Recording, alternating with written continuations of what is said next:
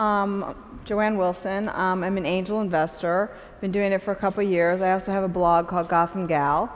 Uh, I also put on a conference, um, a big proponent of women called the Women's Entrepreneur Festival at the ITP department of uh, NYU last year, which we're doing again this January. And um, that's it.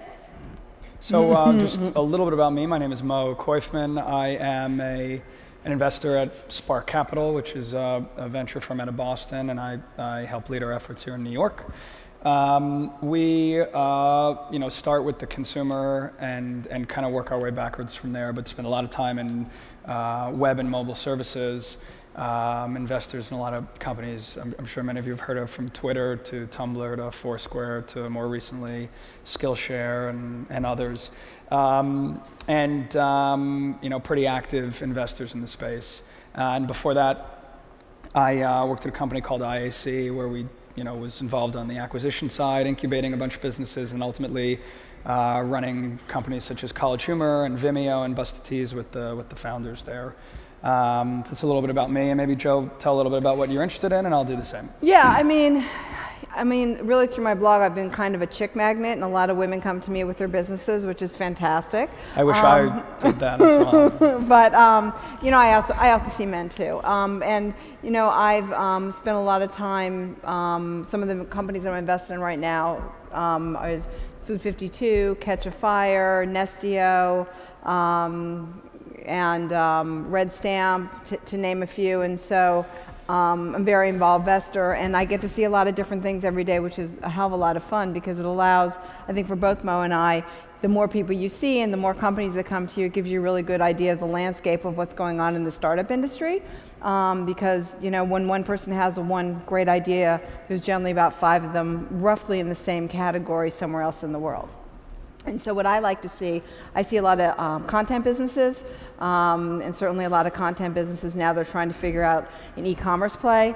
Um, I do a lot of stuff in the food industry, which I really like, and um, you know, uh, those are really two of the areas that I'm in, in, you know, that I like. But I'm open to pretty much anything. Yeah. So actually, the, we, we initially met um, through you know the combination of food and the media business. We sat on a board. Yeah, sat on a board and angel invested in a in a company together, and uh, that those are areas obviously that I'm I'm very interested in as well. Although I largely do that stuff outside of Spark because we are focused on um, really, you know, classically scalable, technology enabled, yeah, exactly, um, internet uh, and mobile platforms. So I spend a lot of time these days. I, I'm, I'm obsessed by marketplace businesses and anything that exhibit marketplace dynamics on the web. That's kind of my first order and large, large networks um, on the web. Um, I uh, am a big fan of e-commerce and always have been uh, and continue to look for investments there. Uh, very bullish, obviously, on the mobile platform and the tablet platform and look for investments that are very native to those platforms. Um, and um, uh, there was something else we were talking about earlier, and now what I we look at. I mean, I think that the what I'm excited about is seeing all these businesses, and actually some of them I've seen before here, is that um, you know the startup industry is a fantastic industry to be in, particularly in New York City today, because New York City is such a myriad of different businesses. Just because you're in food, or you're in fashion, or you're in, you know, data dumps, at the end of the day, it's just the web is your platform. And so, you know, Mo and I get the incredible luck of meeting super smart people every day and, you know, hoping that they're going to create economies in New York City and obviously, you know, a, a global economy eventually. So, you know, I'm psyched to see the companies that are yeah. out there today. And two last things I, I, recall that I kind of wanted to mention. One is uh, a vertical focus that I've been spending a lot of time on, which is in the education space, and just thinking about how that space is going to be revolutionized by many of the disruptive trends that the internet and, and mobile platforms bring. Um, and lastly, just this concept of uh, online to offline that we were talking mm -hmm. about. You know, how the the actual world, the physical world, kind of jives with the online and the virtual world, and how those things kind of work together um, in some very interesting now. ways. So, you know, those are, I think, a bunch of the areas that we're interested in. There's certainly some overlap, but also some things that are, are unique to what we focus on. So. hopefully that's helpful. We're good. We have 18 seconds remaining. Look at that. All right. Well, thank you very much. And they'll be back here in just one hour. If you want to go check out the startups, they are right behind you. Thank you all very much. So I think uh, we chose a couple of um, couple of the companies that we saw today that we wanted to highlight, kind of based on uh, what we mentioned earlier that we're looking for, and, and the ones that we found, uh, you know, most uh, appropriate and compelling in that context. So, the first one is um, a company called Freshocracy. Um, and um, you know what we really liked about uh, this company is first and foremost the the passion of the entrepreneur for the space, which I think is fundamentally important in, in any startup. Um, secondly, obviously, it's in the, in the food space, which is something that's near and dear to both of our hearts, but it also is capitalizing on a whole host of trends, one of which is um, bringing you know, farm to table, fresh, fresh farmed food directly to the end user and the whole CSA movement in this country and tapping into that. I think it's also helping stem confusion about you know what to make, how to make it, how the, the amount of ingredients, et cetera, et cetera. And they Pardon really me there, Mo. Real quick, Freshocracy, are you here? This is your Oprah moment. Come join us on stage. That's this.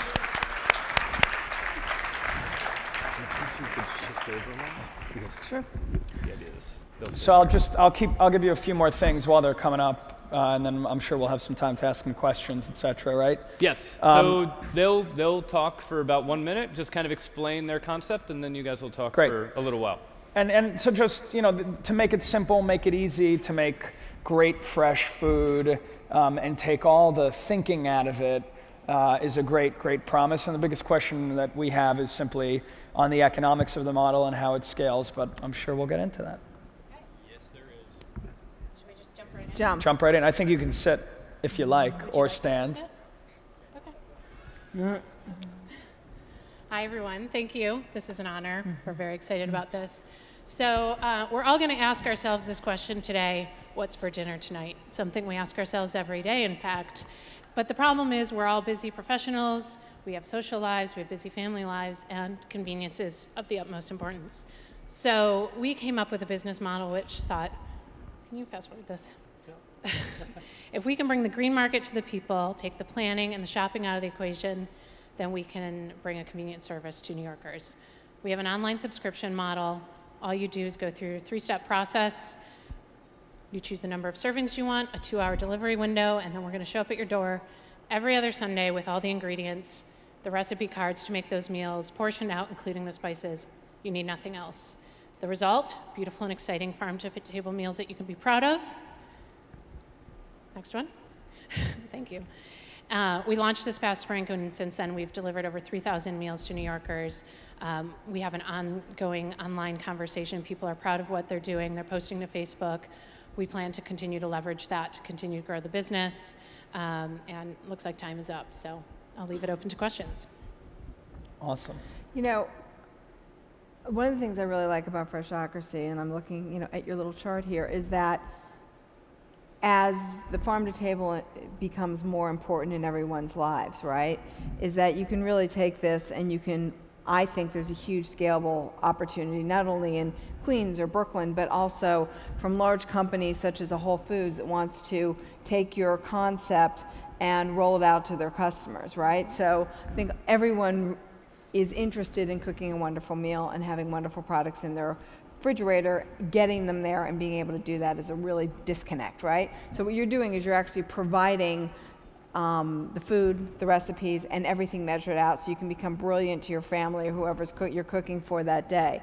Um, but again, this goes back to what we were talking about at the beginning, which is there's, there's a, a very big trend that's going on which between what's going on in the web and what's going on from an old school perspective, right? So, you know, going to the green market, taking your bag home, you go online, you put your information on, and then something comes in. So you, even though it's not a web business, you still are using the web as a platform to grow your business. Absolutely, and I think the important thing is that conversation that happens after people have prepared these meals, because it's not just cooking as a task, it's an experience, and there's a lot of pride in our customers. Either they're new to cooking in the kitchen, or they've tried something that they've never prepared before, and sharing that among a community of like-minded people who are either foodies or you know new moms who just need the, that convenience. Um, helps our business, but also gets people interested in food again, in the food systems. And we'll have that conversation with the farmers, and then we want our customers having the conversation about what it is to cook a, a good fresh meal. Yep. And so, um, you know, we, we love uh, the concept here, and the biggest question that, that we both had is just how do you, how do you make this a really big business? I think Joanne just mentioned something that's interesting in that context. Um, and I wonder if it's anathema to you and, and whether you'd ever do it, frankly, um, which is what if you could, because I think one of the biggest innovations here is put the farm to table piece aside for a minute, even though I love the farm to table piece. I think the idea of like making it so much easier for people to plan, measure out, and prepare amazing meals is that's a really hard thing, especially with you know uh, both parents working and the whole. It's just really really challenging. Um, I wonder if you could ever do it where you, you put us, and, and, by the way, the thing, one of the things I love about this is a subscription model. So it changes the customer acquisition dynamics, the lifetime value equation, and your ability to acquire customers profitably, you know, uh, is, is, is significantly improved. So my question is, what if you front a Whole Foods or, you know, any, anybody else in a neighborhood that, and you could actually pick from their inventory exactly. the things that are freshest and from the farm or whatever and it can spare you some of the logistical headaches of having to deal with all the farms you don't have infrastructure and the delivery etc and actually solve the biggest problem on the front end first and over time you could do more with the farms and scale as you obviously grow and, and get more volume i think you could do more in terms of the purest farm to table concept. Yeah i think it's something that we both agree on and, and this is a logistics business so thinking about this at scale re- requires us to solve some of those problems. You know we started this with a rental car going to the green market and developing those relationships and we have extremely good relationships. Our farmers brought us food on the hurricane weekend so we could still deliver to our customers but they're small farms. They can't market themselves. They don't have the time. If they're going to grow and scale with us, you know, they need to not be spending the time selling their product. And so with those relationships, we could go to someone like a Whole Foods and really change the way that we're getting food to people by sourcing, you know, even the pantry items, their bulk section, and leveraging all the infrastructure that they have in place and the food that they're, you know, already getting distributed to them. Yeah, I mean, because I, I, think if you solve the front end problem, which is, you know, the consumer, if you if you if you can acquire enough consumers by taking the hassle out of making great, fresh cooked, organic, whatever meals, um, you know, you could work your way back through the chain. I think more easily. I mean, it's a little bit, you know, the margin won't quite be there because Whole Foods is damn expensive to begin with, right? So you're not going to get that wholesale price, but but you may be able to prove to them that you're driving. I mean, and their their margins are so thin anyway. So it, it's really just a way to get mm-hmm. the flywheel turning a little bit. Um, and they're trying uh, to become more local too. Mm-hmm. They're trying to push towards a huge percentage of their business being local, yeah. although the only issue there is they have no margin, too. right? Right. So it's like they're never going to be able to. They're making a three percent margin on the bottom right. line, anyways. Maybe they're doing four or five. But, but you know, I think there's another piece here which is really important is is the um, is the recipes and the cooking, right? There's a book that just came out this week. Of course, I can't remember the name of the author or the name of the book, but um, nine. This woman who actually wrote another book before it, um, "The Sharper Your Knives, the More You Cry." Did you read about this? And she basically has nine people that she teaches how to, she goes through their cabinets, she cleans their cabinets, she teaches them how to cook, right? And these, you know, how to cut open, how to cut a chicken, how to peel uh, an egg that's been hard boiled. And I think that that's one of the issues is that in the world that we live in today with fast food and what have you not, people feel uncomfortable cooking in their kitchen. They don't know what they're doing. I mean, there is certainly plenty that do, but I mean, there's plenty that feel that if they do it wrong, it's going to kill somebody. Many of them are our customers, honestly. Yes. we get that feedback where they did not even know, you know, well, what certain tools were, and they'll send us an email and ask. So they are novices. We have certainly the people that are the foodies too, but um, you know, they feel very comfortable because we're telling them what to do. They just follow the 10 That's steps. awesome. How many how many meals do you get in each every two weeks? You get three meals, and we did that strategically because we wanted this to feel like something people could commit to, and then Well, in miss New us York, in the off makes week. sense. Yeah, And three meals, but they'll stay fresh for the whole two weeks. So you need to. for the most part. But we also provide a one pager about where all of your food was sourced and how to keep it fresh. So if something's only going to keep You uh, freeze you know, a few or days, whatever, or we'll encourage people if you're not going to cook the fish in two to three days, freeze it and then defrost it. Right. Um, but you know, most of our produce is harvested the day before we get it. Right, so that's You think about a grocery chain, No. it's going to travel across country. I'm just a thinking about meat point and fish for you and stuff too like is that. How many people are going to be packing these things, right? It's labor intensive what you're doing. It is. I mean, that to me is the biggest question here is just the unit economics and the, you know, the logistics of this. And I'm, I'm thinking in my head already of like, you know, how do you get the cost right so that you can manage the infrastructure and what can you do to shortcut that in the near term, still deliver on the consumer promise, but, you know, work your way towards true, like we're going to literally go farm to table, end to end solution over time. So, you know, I'd love to dig in a little more on that with you guys. Great. Awesome. Thank you. Thanks, you. everyone. Everyone? Thanks, guys. Thank you. Thank you both. And the next company? ElectNext. Come on down. So you want to give a little bit about, you know, what, what you liked about Yeah. this, what we liked about this? You know, of course, we were sent all the companies wanna- before we got here, so I spent some time like looking at all the websites and what everybody was doing and sort of getting a better idea of what each of your companies did before we got here because certainly you know a three second presentation is not exactly the easiest thing to get your arms around or understand what the entrepreneur is trying to do or who the entrepreneur is. But there was something about this site that i found interesting um, because I think that one of the biggest problems um, in terms of elections is that I'm not so sure people, I think people react to the candidate as a brand, not so much what the candidate believes in. And there was something appealing to me as I went through this whole process of being asked a million questions and saying, here's who you should be voting for. I mean, I wasn't surprised, but I think a lot of people would be surprised. I think we'd have a better and a cleaner election. I was surprised because I did the whole thing and it said I should be voting for you. So anyway, um, you want to ask us some, some questions?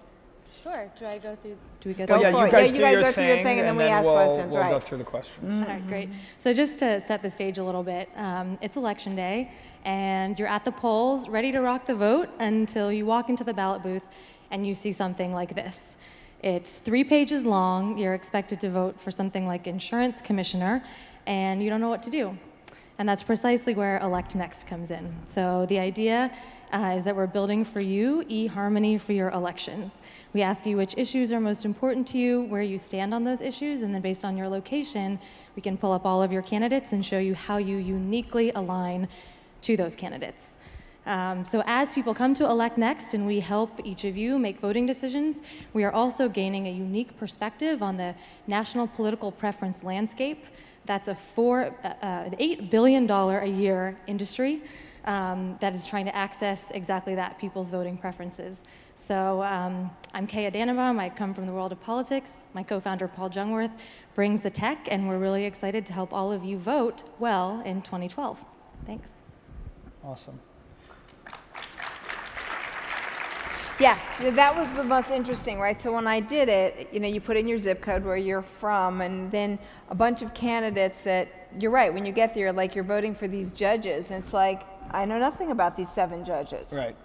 And so they told me which judge I should vote for. You know, I think, I, yeah, I mean, I think it's, um, I think, you know, it certainly resonates with us and, and probably with everybody here, just that um, there's a lot of ignorance in this country and beyond in terms of like, you know, who we're voting for, what people actually believe in. You know, we get swayed more by television commercials and, you know, you know what your what your parents might have done or what your peers are doing. And, you know, even if you don't necessarily come out of this saying, oh, cool, it told me who to vote for, but you just come out of it saying, oh, cool, I know that that candidate, you know, their perspective or his or her perspective most aligns with my perspective. I think that's a very, very important tool, and certainly, you know, in your process, and certainly for the tertiary kind of candidates, whether it's a, you know, local judge or whatever it is, where you just frankly don't know. I think, I think this solves an ignorance problem. I, I don't know, you know, I don't know how you make uh, money? Yeah, well, I, I think you can figure it out. I, I, almost don't care if this business makes right. money. Like, meaning the criteria for this for us is, I almost see this as more of a public service than, than I do a business. I'm sure you could find ways to monetize it, but I'd almost, it's almost like, I wish it was a nonprofit and it was just like, think before you act. Right. And it was mm-hmm. like, know before you vote. Mm-hmm. And you really, because the, the biggest thing here is what, you know, the data. Like, what is the data on, on the back end. By the way, I know there's money in politics in terms of, you know, uh, polling and special interests and whatever, but I almost want this to be pure. You know what I mean? I almost want it to just be, we're here to make yeah. sure that people in this country actually vote for the folks who represent what they believe in. Do you know what I mean? Their interests. I'm just curious, how do you guys come up with those questions, right? So, you know, it's like we that, all that's know. That's my big yeah, question. is, well. is data is so, you know,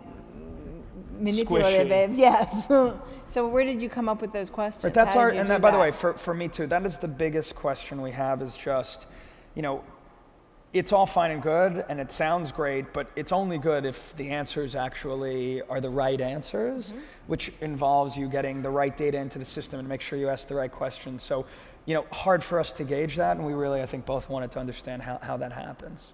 Sure. So, um, just a, a, bit of backstory is um, the site has been live for about three weeks. Mm-hmm. So, we are a very young company, and a lot of this stuff we're, we are figuring out as we go along.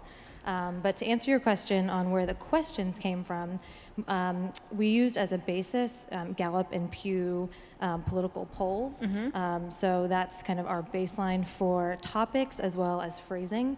And then we have advisors to the project who are um, running the Polling Institute at Harvard um, uh, and out of the Political Science Department at Princeton, so survey analysis experts. So they sort of help us gauge kind of are we actually writing these questions in a way that professional survey experts find neutral and unbiased. Yeah. Um, and then the other side of that, you know, how do we populate the site um, with the information that we need to do the matching?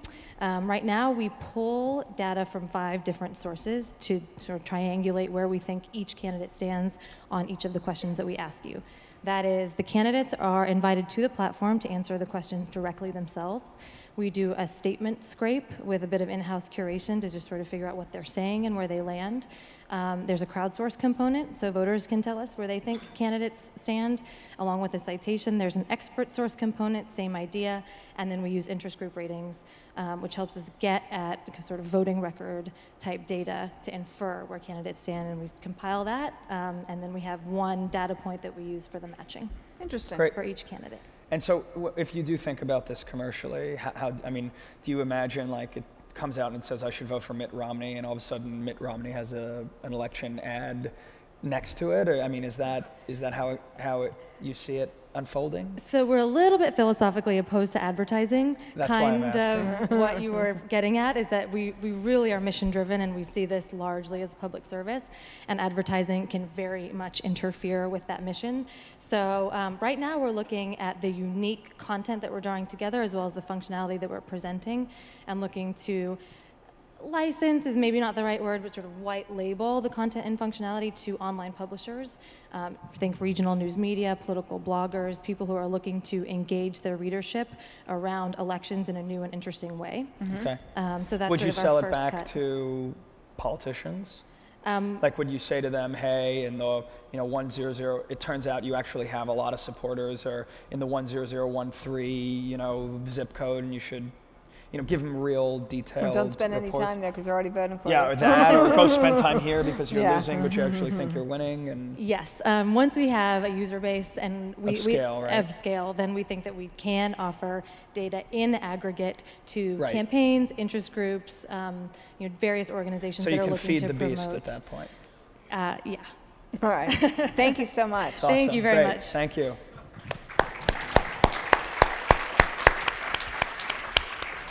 Thank you. Um, and now for the community selected startup. please welcome Social Passport. Narrowly beating out Freshocracy, I'd like to add. Interesting. Hi, thank you again for uh, accepting us. We really do appreciate it. Um, a little bit about Social Passport. Uh, what we've done is we created a solution for businesses to leverage the full power of social media in real time.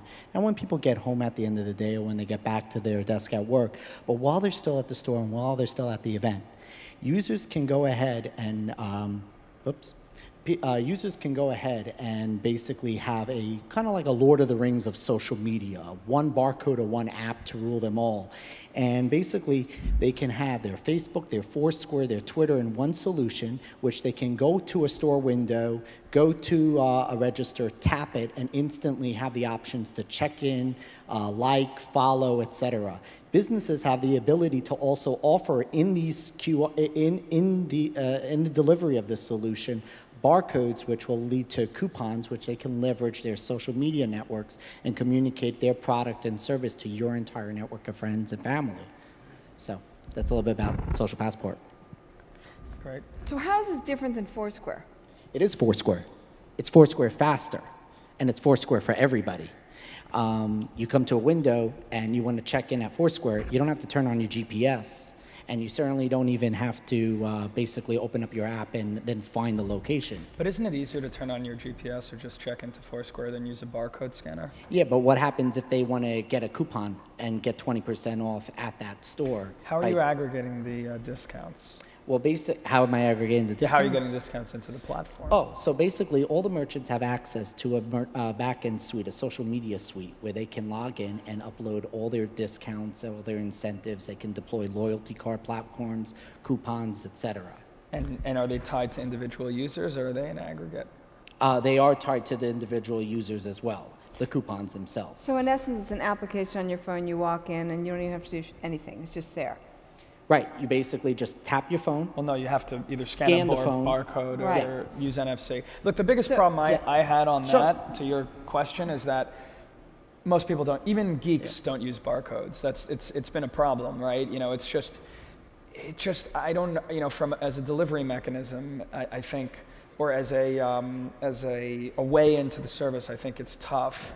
Um, so that's, I, on the front end, I struggle with that. I, but I think, may, look, maybe you can solve that and um, maybe NFC will make it easier, although it's largely not quite yet deployed at scale. Um, but that, that's been, that was like my biggest problem on the front end. But then, and we can talk about that. Sure, but when you, when you get into it, you know, I, I, other than Foursquare, you know, the Facebook data, the Twitter data, and, and by the way, you know, we're investors in Twitter and Foursquare, and Sure. Jo- Joanne is too de facto. Um, You know, I just, I'm not quite sure how relevant any uh, like all that data. It sounds good, Facebook, Twitter, LinkedIn, et cetera, but I'm not quite sure it really gets you much when you're at the venue. Meaning Foursquare, I understand because it's all about that that venue, but I mean the tweets about the coffee shop that I'm at. I mean, how interesting is that? I, I don't quite know. Now the loyalty thing, I do understand, but then you know if we strip away the noise and say you know we know who you are because you signed up for the for the program and you can get delivered an offer from the merchant. I mean i get that but now we're in groupon living social and i can go down the list of 100 companies that are all playing in that territory including foursquare. And then i just get a little worried about you know how do you compete in that in And that my- space? Yeah, and the issue with the tap is, okay, let's say that the next Foursquare model is, is they continue to change the business model as they're learning from their community. You walk into your local coffee shop or your restaurant or wherever you are, and you pull out your phone and it says, oh, you're here, hit here, you checked in. You don't even have to do anything, right? No tap, no nothing. I mean, I'm a big believer in um, many companies in many spaces, and competition is good, but you know, my concern is that they're so far along the line, right? Versus someone just entering that space. Okay, so let me address all these things. First of all, we're not competing with Foursquare. We are Foursquare. We're not competing with Twitter. We are Twitter. We're simply them faster. To answer your question about QR, i don't understand what that means okay, basically, if you have all your social media in one place, in one app, You're aggregating it. Where are you aggregating? You're aggregating We're it. aggregating it for you. We're putting it in a, pla- a single place, just like you aggregate a lot of things, like loyalty cards. There's a lot of loyalty cards that you aggregate in one solution. But here's the most important part. You know, when you looked at, when you mentioned your thing about QR codes before, that's because that's traditional QR, which is boring. When you download contact information, it's irrelevant. When you're pushing someone to a web page, it's irrelevant. You're getting calendar event. So yes, you're right, it is boring, but that's not what our thing was. Our thing is called dynamic QR, where the merchant does ne- never has to reprint the, the signage in his store window. Through our system, he can constantly deliver an endless amount of media through that barcode and actually leverage social media. There's not a single barcode today that when you scan, you can instantly click and like. I don't want to go and open up Twitter, find the Twitter feed, then follow it. I don't want to go in and turn on my GPS, find the location, and then uh, uh, um, you know check in. And here's the thing about in terms of living social. Retail businesses cannot afford to give 50% discount and cannot afford to I agree give with 50. that. I mm-hmm. came, I come from 20 years growing up in a retail business, and I have to tell you something. Businesses cannot afford to do totally that. agree. So what we've I done don't get those is businesses. exactly. I so figure by short term as far as exactly. I'm concerned. So by leveraging, mm-hmm. leveraging the visitor's social media network, yes, you're right. What does it do for you beyond? No, it's not tweeting. It's not that. It's the fact of the matter is, as I said, I'm going to give you 20% off today at Nathan's, but I want you to click this post, and on your wall, I in turn posted, I just got 20% off at Nathan's. Click here and get your 20%, and now your 800 friends see that. And now I've given every business, every retail business, an ability to come into those stores in droves without the discount requirements or the commissions. I understand. I understand your point on the 50% and the problems with all those Yeah. businesses out there, and I think there's something to do in that space, although it's going to be incredibly competitive. I just, for me, the struggle is still on the way, and I don't, I don't, I have a hard time seeing the need for all the social media in one place and sitting on top of these services. I think is easier said than done. So that, that's my struggle Sure, with it. okay. But you know, I'd love to, Yeah. uh, I'd love to be proven wrong. Well, yeah, definitely come out to the expo coming out in November at Javits Center. We were just at the Small Business Expo, and the whole idea was that these people came and they only got 200 visitors at their booth. But using Social Passport, they were able to turn that to over 150,000 people impressive. who Great. learned about their product or service. That's, That's great. Thank you. Thank you mm-hmm. very much to everyone. Thank you. Mm-hmm. Thank you. All right. Thank you to all the startups that participated. Thank you to our two wonderful judges. Any parting words? Good luck to all of you. Yeah. I mean, I think starting a startup, even if you succeed or you fail, you know, it's like getting a small MBA, and you'll take it wherever you go. If it means three of you merge together and create something different, I'm a huge believer in the startup industry. I think it's going to change the economy in New York and change the economy in this country. So go, go, go. what she said. Thank you.